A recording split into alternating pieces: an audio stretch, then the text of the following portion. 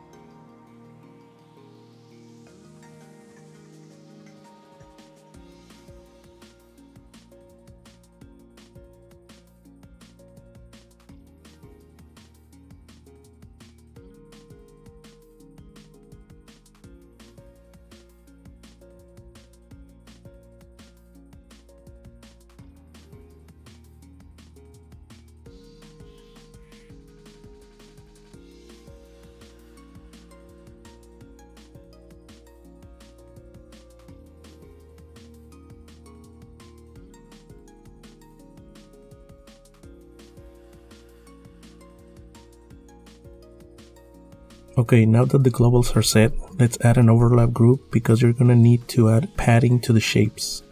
And having shapes in the root layer doesn't allow you to add padding. By the way, padding is the space outside the very edge of elements. Let me show you.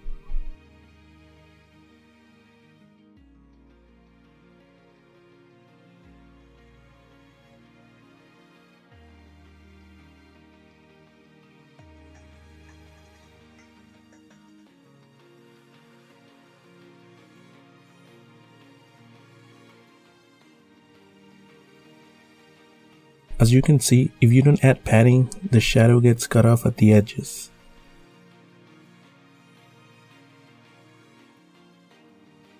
Okay, so now that you have an overlap group, create a shape inside it. And we're going to name it base.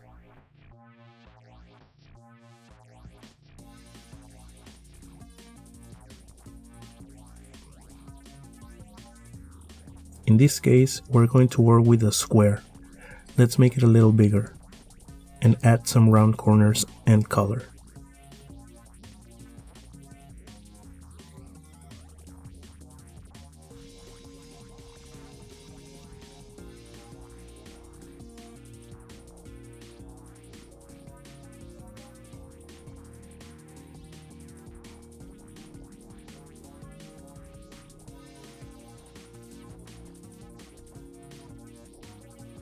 Now let's copy and paste that shape and call it shine.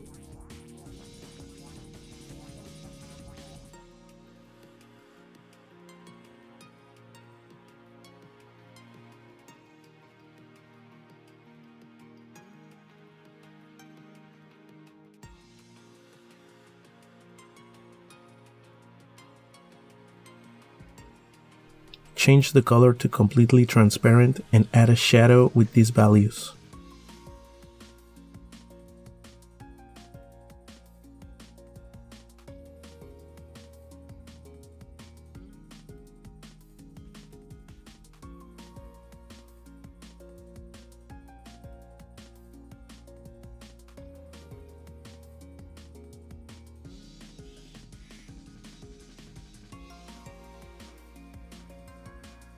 Move the shape to the top left by adding more padding in the opposite sides.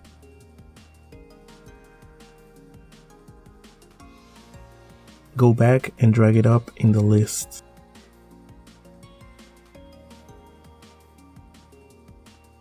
Let's copy and paste that shape and call it shade.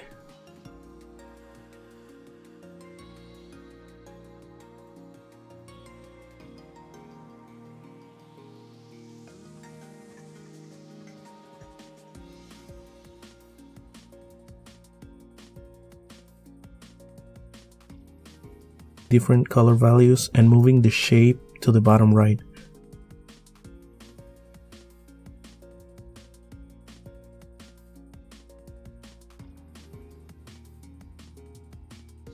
Go back and drag it up in the list. This is very important. The topmost elements in the list will show behind or underneath. In this case, we want both shine and shade to go right below the base. Okay, it's taking form now. But we still need to do the last step, which is to go to the background and change the color to the global base color.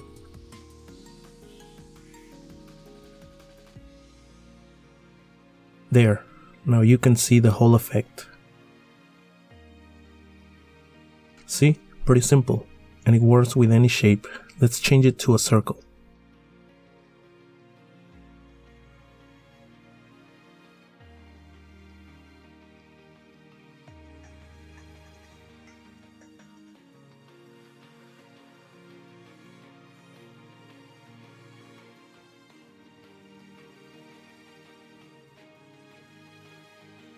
Now, let's quickly change the values to dark mode.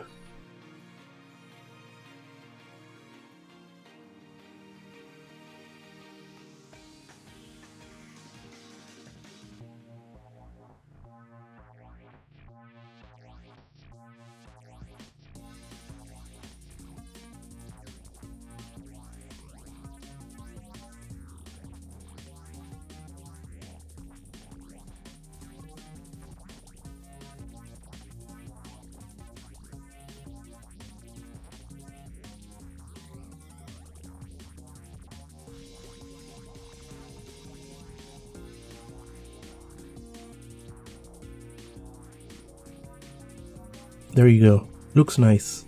I personally like the dark mode better.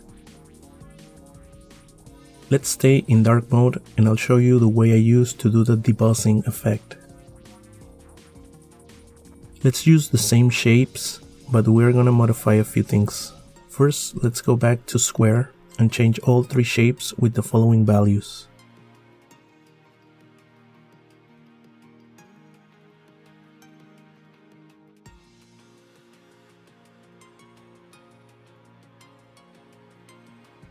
It's mostly changing the shapes from fill to stroke.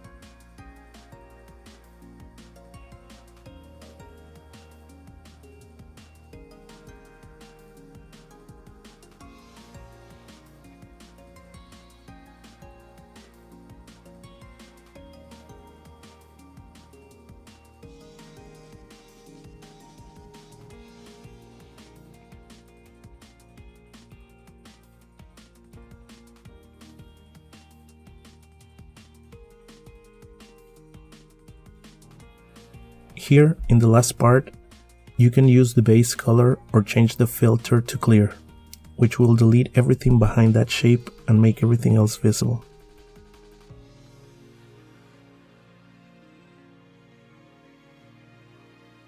You're gonna have to adjust and play around with these values depending on the size and shapes you're gonna use on your setup.